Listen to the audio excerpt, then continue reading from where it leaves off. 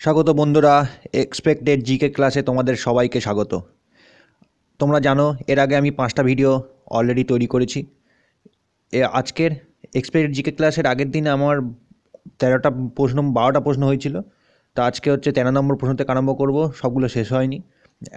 সময় অনেক বেশি হয়ে যাচ্ছিল বলে। তা আজকে ভিডিওটার আমরা শুরু করব এবং দেখব যে এসএসসি জিডির যে সমস্ত প্রিভিয়াস ইয়ারের প্রশ্ন এসেছিল, তার উপর নির্ভর করে আমরা প্রশ্ন করি এবং তার স্ট্যাটিক ফ্যাক্ট এক্সট্রা ফ্যাক্ট যেগুলো আমরা দেখি, সেগুলো কোনো না কোনো পরীক্ষাতে প্রিভিয়াস ইয়ার এসেছিল। তা আজকের, চলো যে বাকি প্রশ্নগুলো রয়ে গেছিল, যেগুলো হয়নি, সেগুলো আমরা দেখে নিই। দেখো, প্রথম প্রশ্ন দেখো, কি বলছে? Which of the following disease is cause due to the deficiency of iron in blood ঠিক আছে? তা বলছে, কোন রোগটা রক্তে লোহার অভাবের জন্য হয়? অপশান দেখো হাইপোক্যালিমিয়া হাইপোগ্লাসিমিয়া, অ্যানিমিয়া আর অ্যালজাইমার, ঠিক আছে? তো এর মধ্যে তোমরা জানো অ্যালজাইমারটা কী ধরনের রোগ? এটা খুবই সোজা এবং সেই কারণে তোমরা এটা কমেন্ট করে জানাবে যে অ্যালজাইমারটা কী ধরনের রোগ এবং কী কারণে হয়। আমি আর দুটো বলে দিচ্ছি, দেখো, যে এই হাইপোক্যালেমিয়া আচ্ছা এর উত্তর কী হবে প্রথমে? উত্তর হবে কি? উত্তর হবে অ্যানিমিয়া, ঠিক আছে? এই আয়রনের অভাবে হয়। তা হাইপোক্যালিমিয়াটা কী ধরনের রোগ?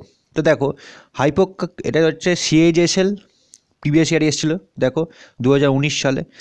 তা কী বলছে যে হাইপোক্যালেমিয়া, এটা হচ্ছে এক ধরনের রোগ যেটা হচ্ছে পটাশিয়ামের লো লেভেলের জন্য হয়, ঠিক আছে? সেটাকে বলে হাইপোক্যালেমিয়া। ঠিক আছে, আর পটাশিয়াম হচ্ছে কেন, দেখো, কেন গুরুত্বপূর্ণ বলেছে?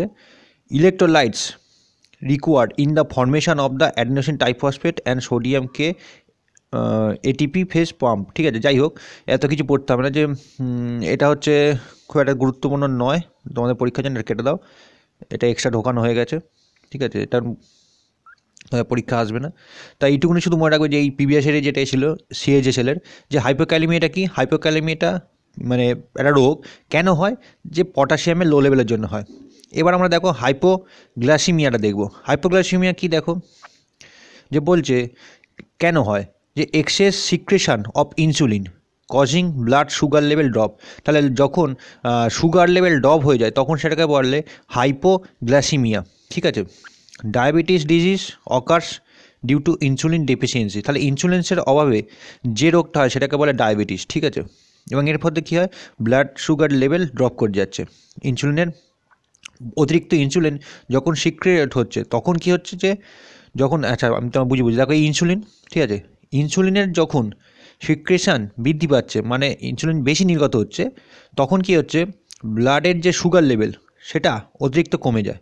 আর যখন ইনসুলিন কমে যাচ্ছে, ঠিক আছে?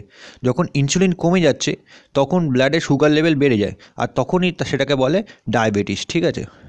এবার দেখো একটা ডিজিজের নাম, ক্রোনস ডিজিজ।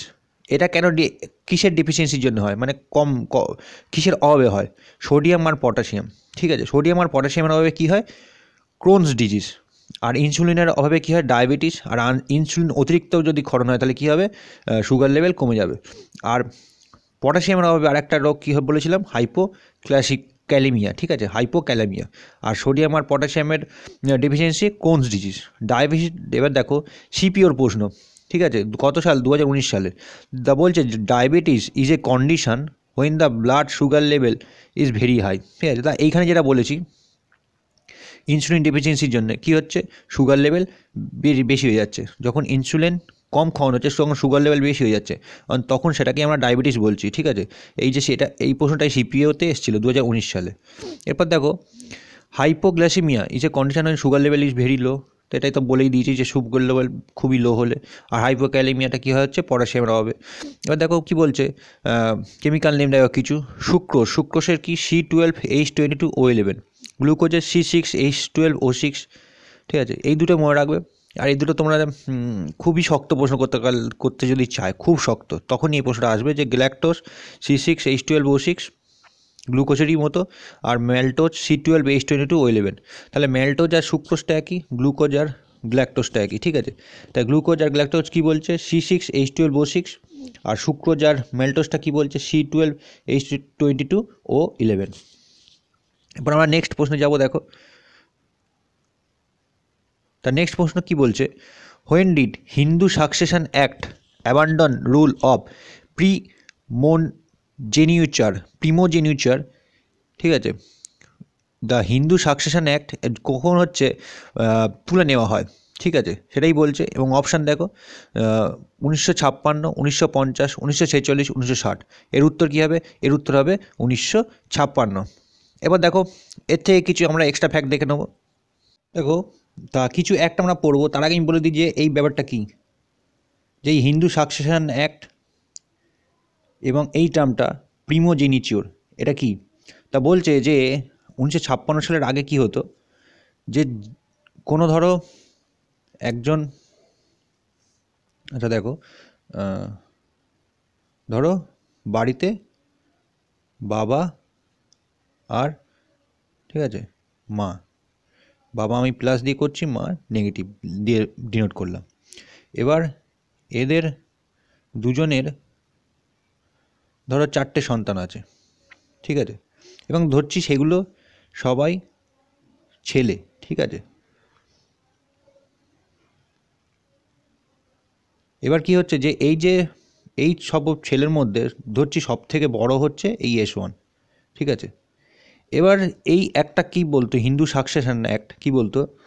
যে এই চারজন ছেলের মধ্যে সব থেকে বড় যে হবে, সেই, এই বাপ, সেই এনার যত সম্পত্তি আছে, সব সম্পত্তির মালিক হবে।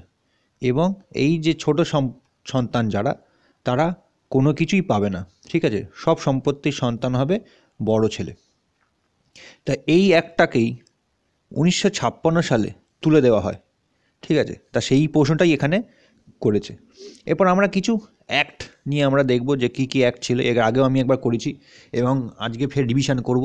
এবং আমি তোমাদের বলে দিচ্ছি যে এতবারই রিভিশন করব, তোমরা চাইলেও ভুলতে পারবে না। তাহলে দেখো, প্রথম, কি বলছে? ওয়েস্ট বেঙ্গল ইন্ডাস্ট্রিয়াল অ্যাক্ট কত সালে?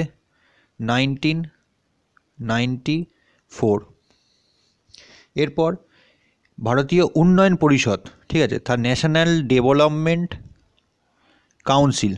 যদি বলে, তাহলে কী হবে? উনিশশো একান্ন। যদি বলে গন্ডার, ঠিক আছে? গন্ডার সংরক্ষণ আইন, তাহলে কী হবে? Nineteen thirty six. এই গেল। এরপর দেখো, বলছে এনভায়রনমেন্ট প্রোটেকশন ঠিক আছে? পলিউশনের ক্ষেত্রে এনভায়রনমেন্ট প্রোটেকশন অ্যাক্ট তাহলে কী হবে? নাইনটিন এইটটি সিক্স ঠিক আছে? নাইনটিন এইটটি সিক্স এবং এটা ডাব্লিউবিসিএসের প্রশ্ন। এবং যেগুলো বলছে সবগুলোই কোন- নয় ডাব্লিউবিএস বা কোনো কোনো রাজ্যের নিশ একবার না একবার এসছে, ঠিক আছে?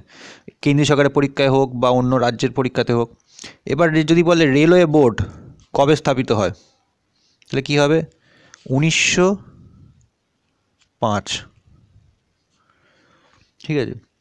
এবার যদি বলে, এটা তো গন্ডার সংরক্ষণ, আর যদি বলে টাইগার টাইগার সংরক্ষণ, তাহলে কী হবে? Nineteen seventy three. ঠিক আছে?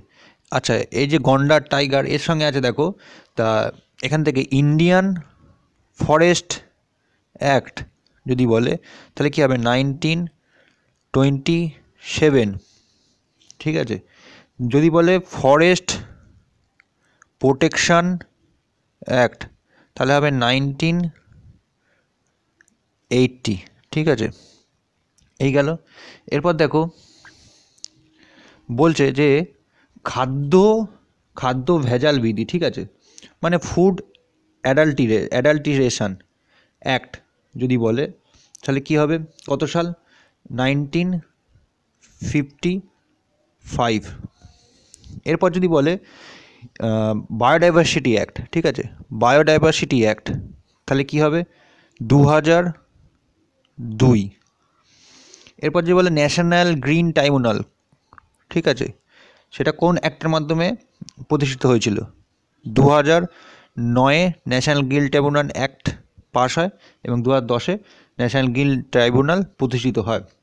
এবার যদি বলে wild life protection act nineteen seventy two. ঠিক আছে? আর বলছে যে দেখো কি বলব রাইট টু এডুকেশান হ্যাঁ মনে পড়েছে রাইট টু এডুকেশান দিয়ে দুটো প্রশ্ন হয়। একটা বলছে যে রাইট টু এডুকেশান কবে পাস হয়? ঠিক আছে? আর একটা বলছে, কবে লাগু হয়? ঠিক আছে? তা পাস হচ্ছে কবে? দু হাজার নয়। ঠিক আছে? আর লাগু হচ্ছে কবে? দু হাজার দশ।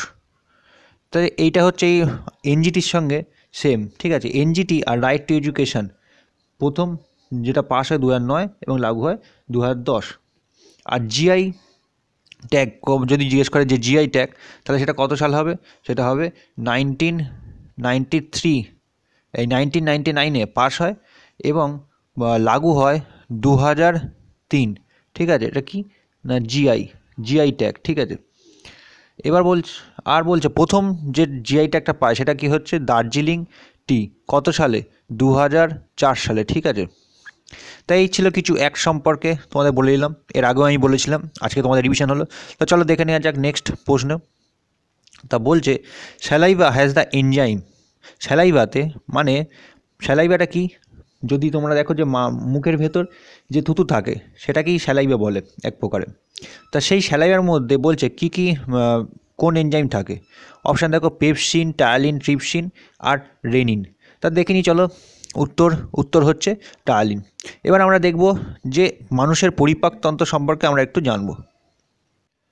তাহলে দেখো, পরিপাক নিয়ে আমরা কি দেখব প্রথমে? কি কি প্রশ্ন পড়ে? তা প্রথমে দেখো, বলছে যে অন্তঃকোষীয়, ঠিক আছে? অন্তঃকোষীয় পরিপাক আর একটা হচ্ছে বহিঃকোষীয় পরিপাক। তো অন্তঃকোষীয় পরিপাকের উদাহরণ জিজ্ঞেস করে, তার অন্তঃকোষীয় পরিপাকটা কি? যেটা হচ্ছে কোষের মধ্যে যে পরিপাক হচ্ছে, আর বহিঃকোষীয় যেটা কোষের বাইরে পরিপাক হচ্ছে। বহিঃকোষীয় পরিপাকের উদাহরণ হচ্ছে মানুষ, ঠিক আছে? ব্যাং কেঁচো, ঠিক আছে? তো এরকম। আর অন্তঃকোষীয় পরিপাক কী হচ্ছে? হবে অ্যামিবা। ঠিক আছে, অ্যামিবা। এছাড়া প্যারামেশিয়াম, ঠিক আছে? এই দুটো মনে রাখলে হবে, অ্যামিবা আর আর প্যারামেশিয়াম। ঠিক আছে, অ্যামিবা আর প্যারামেশিয়াম। এরপর দেখো, বলছে, এবার আমরা দেখব যে মুখে, মুখবিবর। মুখবিবরের পরিপাকে, ঠিক আছে, তিন জোড়া গ্রন্থি হয়, থাকে। একটাকে বলছে প্যারোটিড গ্রন্থি ঠিক আছে? একটা হচ্ছে সাবলিঙ্গুয়াল গ্রন্থি আর একটা হচ্ছে সাব ম্যান্ডিবুলার গ্রন্থি। এর মধ্যে সবথেকে বড় যেটা, সেটা হচ্ছে প্যারোটিড গ্রন্থি।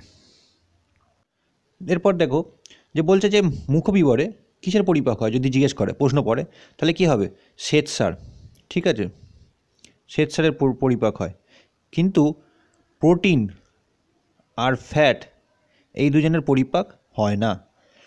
আর যে মুখে লালারসে যেই শর্করা ভঙ্গকারী যেটাকে শ্বেতসার বলছে, সেই শর্করা ভঙ্গকারী কি থাকে? অ্যামাইলোলাইটিক উৎসেচক, ঠিক আছে? অ্যামাইলোলাইটিক উৎসেচক থাকে, টায়ালিন থাকে, ঠিক আছে? এবং মল্টেজ থাকে। আর টায়ালিন, সেদ্ধ সার, টায়ালিন কী করে? যে সেদ্ধ শ্বেতসারকে মল্টোজ, ঠিক আছে? মলটোজ। মল্টোজে পরিণত করে।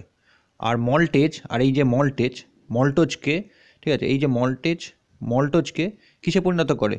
গ্লুকোজে পরিণত করে। ঠিক আছে? এরপর দেখো যে এখানে মুখবিবরে শুধু তো শ্বেতসার হলো। এরপর আমরা যাব পাকস্থলিতে।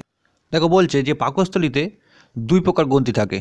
একসাথে একটাকে বলছে অক্সিটিক গ্রন্থি আর একটাকে বলছে পেপটিক গ্রন্থি, ঠিক আছে? আর এই অক্সিট অক্সিনটিক গ্রন্থি থেকে কী নির্গত হয়? নির্গত হয় এইচসিএল আর পেপটিক গ্রন্থি থেকে নির্গত হয় পেপসিন, ঠিক আছে? পেপটিক, এটা পেপটিক গ্রন্থি। পেপটিক গ্রন্থি থেকে নির্গত হচ্ছে পেপসিন, ঠিক আছে? আর অক্সিনটিক গ্রন্থি থেকে নির্গত হচ্ছে এইচসিএল এবার বলছে, এই যে পেপসিনের ক্রিয়া কী? পেপসিনের ক্রিয়া হচ্ছে তোমার প্রোটিন প্রোটিন ভঙ্গ করা ঠিক আছে। আর যেটা পাওয়া যায় পাকস্থলিতে, সেটা হচ্ছে রেনিন। ঠিক আছে? রেনিন একটা উৎসেচক পাওয়া যায়, আর একটা পাওয়া যায় লাইপেজ, ঠিক আছে?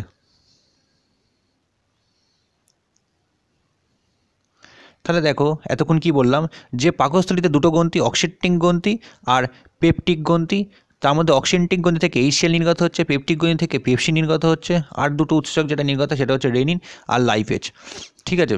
লাইফেজ কী করে? ফ্যাটকে ফ্যাটকে ভাঙে রেনিনও তাই দুগ্ধ প্রোটিনকে ভাঙে। দুগ্ধ প্রোটিন কি, দুগ্ধ প্রোটিনের নাম কি?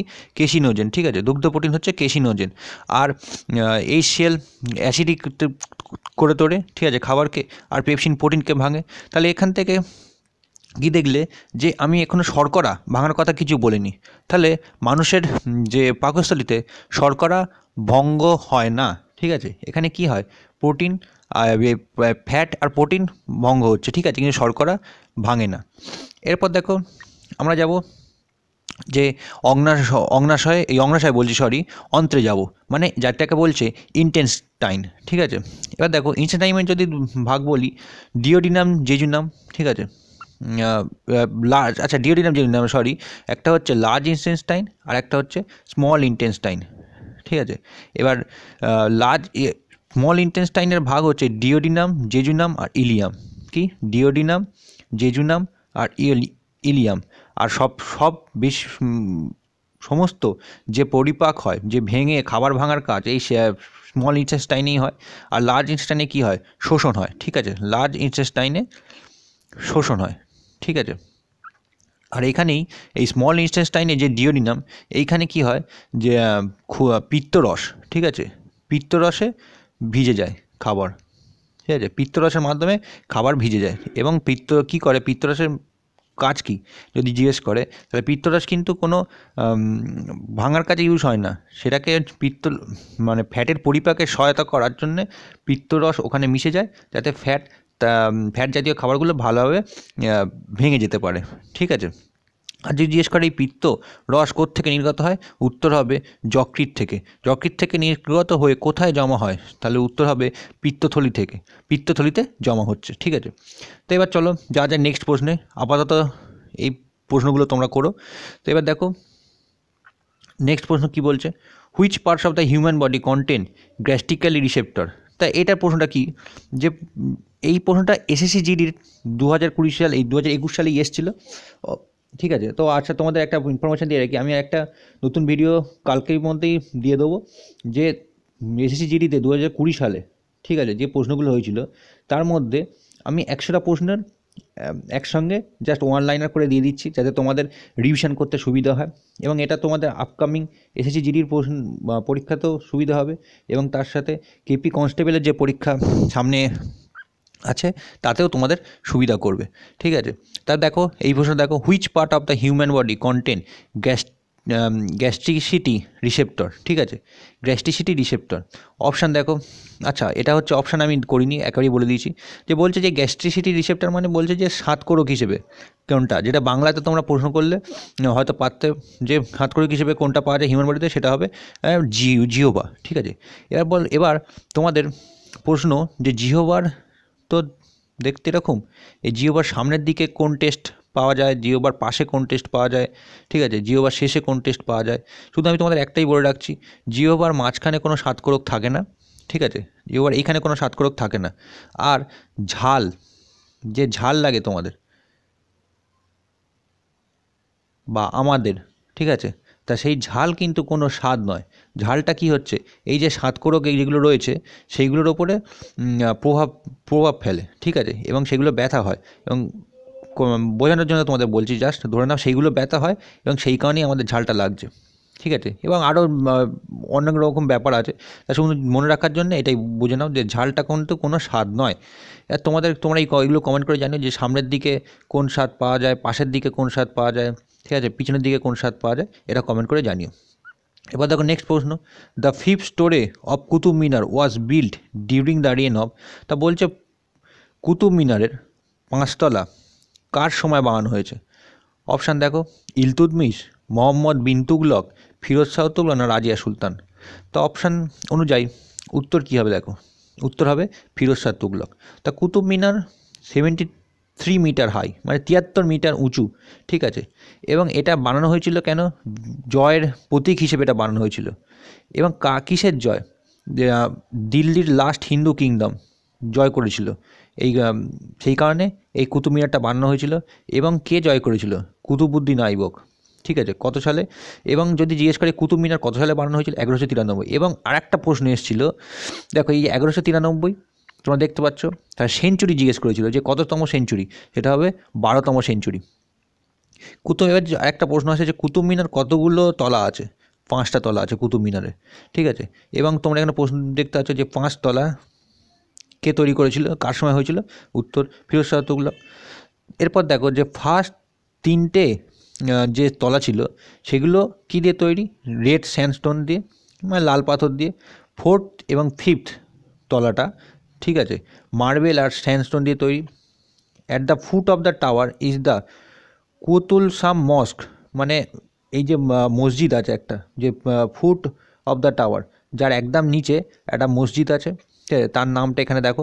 Quwwat ul Islam the first mosque built in India প্রথম, ভারতবর্ষের প্রথম বলছে যে মসজিদ যেটা তৈরি হয়েছিল। কুতুব মিনার হচ্ছে ইউনেস্কো ওয়ার্ল্ড হিটের সাইটও পেয়েছে, ঠিক আছে? তাই আমি বলেছিলাম তোমাদের রিভিশন এতবারই করাবো যে তোমরা চাইলেও ভুলতে পারবে না। তা চলো সেই ইউনেস্কো ওয়ার্ল্ড হিটের সাইট নিয়ে আমরা একটুখানি পড়ে নিই। দেখো কি প্রশ্ন আমি করেছিলাম? যে বলছিল প্রশ্নটা ছিল যে পাটাটাকাল কত সালে ইউনেস্কো ওয়ার্ল্ড সাইট হয়? উত্তর কী ছিল? উনিশশো সাতাশি। এবং আরেকটা প্রশ্ন যেটা পড়েছিল এসি এমটি এসে সেটা কি বলেছিলাম যে পাটাটাকাল কোন নদীর তীরে অবস্থিত? কী হবে? মালাপ্রভা। এ বলছে, বর্তমানে কটা ঐতিহ্যবাহী স্থায়ী মানে ইউনেস্কো ওয়ার্ল্ড হিটের সাইট আছে? চল্লিশটা। তার মধ্যে বত্রিশটা হচ্ছে কালচারাল সাতটা হচ্ছে পুরো ন্যাচারাল আর একটা হচ্ছে মিশ্র। মিশ্রটা কি? কাঞ্চনজঙ্ঘা ন্যাশনাল পার্ক এবার দেখো কোনটা কোন সালে আমরা পড়িনি, দেখো। অজন্তা উনিশশো তিরাশি, ইলোরা উনিশশো তিরাশি, আগ্রা ফোর্ট উনিশশো তিরাশি, তাজমহল উনিশশো তিরাশি। তাহলে এই চারটে, উনিশশো তিরাশি সালে কি আছে? অজন্তা ইলোরা আগ্রা ফোর্ট আর তাজমহল, ঠিক আছে? আর উনিশশো চুরাশি সালে দুটো দেখো সূর্য মন্দির, উড়িষ্যার সূর্য মন্দির আর মহামল্লপুরমের মন্দির, ঠিক আছে? সেটা তামিলনাড়ুতে অবস্থিত। আবার তিনটে হচ্ছে, এবার আমরা বন দেখব, ঠিক আছে? ন্যাশনাল পার্ক, কি? কাজিরাঙ্গা কেওলাড্ডো মানস, ঠিক আছে? এর মধ্যে কাজিরাঙ্গা আর মানস, এটা হচ্ছে আসাম, আর কিওলাড্ডো, সেটা হচ্ছে রাজস্থানে অবস্থিত। আর churches and convents of Goa একসঙ্গে এরকম লেখা থাকবে উনিশশো ছিয়াশি। আর মনুমেন্টস অফ খাজিরা, উনিশশো ছিয়াশি, মনু, হাম্পি আর ফতেপুর সিকরি। এই চারটে উনিশশো ছিয়াশি। কি?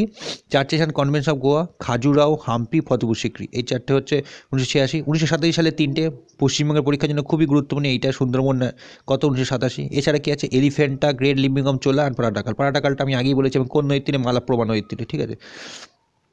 এরপর দেখো নন্দাদেবী আচ্ছা নন্দাদেবী যদি বলে উনিশশো অষ্টআশি, উত্তরাখণ্ডে অবস্থিত, আর মনুমেন্ট বৌদ্ধ মানে সাঁচি স্তূপ উনিশশো উননব্বই, আর হিমায়ন টম উনিশশো তিরানব্বই, কুতুব মিনার, যেটা আমাদের আজকের বিষয়, উনিশশো তিরানব্বই সালে কুতুব মিনার, আর মাউন্টেন রেলওয়ে অফ যেটা হচ্ছে দার্জিলিং, সেটা উনিশশো নিরানব্বই, আর একটা দু হাজার পাঁচ আর দু হাজার আট, ঠিক আছে? তিনটে দেখো, দার্জিলিং, কালকা আর নীলগিরি, একটা উনিশশো নিরানব্বই, একটা হচ্ছে দু হাজার পাঁচ আর একটা হচ্ছে দু হাজার আট। তোমাদের কাছে প্রশ্ন, কোনটা দু হাজার পাঁচ এই কালকার সিমলা নীলগিরি মধ্যে কোনটা দু হাজার পাঁচে আর কোনটা দু হাজার আটে তোমরা এটা কমেন্ট করে জানিও। আর মহাবোধি টেম্পল, দেখো দু হাজার দুই ভীমবেদকা দু হাজার তিন, ছত্রপতি শিবাজি টার্মিনাস দু হাজার চার, চম্পারণের পাবাগাডা দু হাজার চার, ঠিক আছে দু হাজার চারে তাহলে দুটো দেখো, ছত্রপতি শিবাজি আর চম্পারণের পাবাগাডা, রেড ফোর্ট, ঠিক আছে, লালকেলা দিল্লি লালকেলা দু হাজার সাত। আর আগ্রা ফোর্ট বললে উনিশশো তিরাশি যন্তর মন্তর দু হাজার দশ, এটা কিন্তু দিল্লি হবে না, রাজস্থান, ওয়েস্টার্ন ঘাট দু হাজার বারো, হিল ফোর্ট অফ রাজস্থান দু হাজার তেরো রানী কি ভাও দু হাজার চোদ্দ, গ্রেট হিমালয়ান ন্যাশনাল পার্ক দু হাজার চোদ্দ, হিমাচল প্রদেশ, নন্দাদেবী নাই সরি, নালন্দা, ঠিক আছে দু হাজার ষোলো। এরপর দেখো কাঞ্চনজঙ্ঘা যেটা মিক্সড ঠিক আছে দু হাজার ষোলো, সিকিম আর্কিওলজিক্যাল কর মানে চণ্ডীগড় সিটি ঠিক আছে, সেটা দু হাজার ষোলো, আহমেদাবাদ দু হাজার সতেরো, ভিক্টোরিয়ান আর্ট ডেকো ঠিক আছে? দু হাজার আঠেরো পিঙ্ক সিটি জয়পুর যেটা, সেটা দু হাজার উনিশ। আর শেষ দুটো দেখো, উনিশ, উনচল্লিশ আর চল্লিশ। কাকাতিয়া, রামেশ্বরম টেম্পল দু হাজার একুশ আর ধোলাবিরা দু হাজার একুশ। তো এই চলো আমাদের ইউনেস্কো ওয়ার্ল্ড হেরিটেজ সাইট তো চলো প্রশ্নে যা, ফেরা যাক। দেখো, আমরা একটুখানি ইলতুতমিশ নিয়ে আমরা পড়ে নেব। মানে এই চারটে সম্পর্কে আমরা একটুখানি পড়ে নেব। তা ইলতুতমিশ নিয়ে আমরা, দেখো ইলতুতমিশ নিয়ে কী কী প্রশ্ন আছে? তা বলছে যে ইলতুতমিশ প্রথম যেটা প্রশ্ন আসে যে কত সালে ইলতুতমিশ রাজত্ব গ্রহণ করে? পন, বারোশো এগারো। এরপর সুলতানি আজম, ঠিক আছে? সুলতানি আজম উপাধি কে পান? সেটা হবে ইলতুতমিশ যদি সাল জিজ্ঞেস করে বারোশো উনত্রিশ, ঠিক আছে? চল্লিশ চক্র প্রতিষ্ঠা করেন ইলতুতমিশ। চেঙ্গিস খার আক্রমণ কার সময় হয়, যদি জিজ্ঞেস করে, সেটা হবে ইলতুতমিশ এবং সালটা যদি জিজ্ঞেস করে বারোশো একুশ, ঠিক আছে? ইলতুতমিশের মৃত্যুর পর কে সিংহাসনে বসেন? তাহলে কী হবে? রুকবুদ্দিন ফিরোজ, ঠিক আছে? হলো, এবং বলছে দিল্লি সুলতান শাসনের প্রকৃত প্রতিষ্ঠাতা, যদি জিজ্ঞেস করে, তাহলে কী হবে? তাহলে হবে ইলতুতমিশ। আর আর একটা প্রশ্ন পড়ে, যে কয়েন সম কয়েন নিয়ে, ঠিক আছে? মানে মুদ্রা নিয়ে। মুদ্রা নিয়ে কী প্রশ্ন পড়ে? যে দিল্লির সুলতানি শাসনের প্রকৃত এই সরি সিলভার কয়েন যে সিলভার কয়েন আছে, তার নাম কি? তার নাম হচ্ছে টাঙ্কা, ঠিক আছে? টাঙ্কা, তার নাম। আর যে কপার কয়েন আছে, তার নাম কি? জিতল, ঠিক আছে? এরপর দেখো আমরা যে শিল ইলতুতমিশের পর কে রাজা হন? রাজা হন একজন মহিলা, একজন নারী তার নাম কি? রাজিয়া সুলতানা। ঠিক আছে? তা রাজিয়া সুলতানা কার পরে রাজা হন, যদি জিজ্ঞেস করে? ইলতুতমিশের পরে নাকি রুকবিদ্দিন ফিরোজের পরে? ঠিক আছে? উত্তর হবে রুকবিদ্দিন ফিরোজের পরে। সুলতান রাজিয়া সিংহাসনে বসেন। তিনি কি বলছেন? তিনি বিবাহ কার সঙ্গে করেন, যদি জিজ্ঞেস করে? তাহলে কী হবে? সরহিন্দের বিদ্রোহী শাসক ইখতিয়ার উদ্দিন আলতুনিয়াকে বিবাহ করেন। ঠিক আছে? আর কি বলছেন? সুলতান সুলতান রাজিয়া ও তার স্বামী কারাতে মারা যান, বাহরম শাহর হাতে নিহত হন। ঠিক আছে? এরপর দেখো, এরপর কার কথা পড়ব? মোহাম্মদ বিন তুগলক। ঠিক আছে? মোহাম্মদ বিন তুগলক নিয়ে কী কী প্রশ্ন পড়ে? মোহাম্মদ বিন তুগলকের দেখো দেখো এবারে আমরা মোহাম্মদ বিন তুগলক নিয়ে পড়ব। তা বলছে যে মোহাম্মদ বিন তুগলকের প্রকৃত নাম কী ছিল? প্রকৃত নাম ছিল জুনা খাঁ। ঠিক আছে? প্রকৃত নাম জুনা খাঁ এবং তিনি কি মুদ্রা চালু করেছিলেন যদি বলে?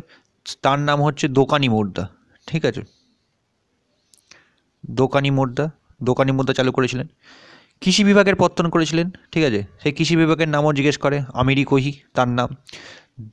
তারপরে যে তিনি দিল্লি থেকে দক্ষিণাতে দেবগিরিতে রাজধানী স্থানান্তর করেছিলেন। ঠিক আছে? এবং নতুন রাজধানীর নাম রেখেছিলেন কি? দৌলতাবাদ।